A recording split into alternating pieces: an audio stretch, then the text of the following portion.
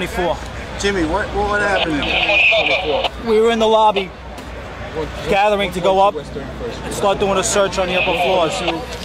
As we were getting our gear on and making our way to the stairway, there was a uh, heavy duty explosion. And everybody just started running for the door. Everybody was trapped.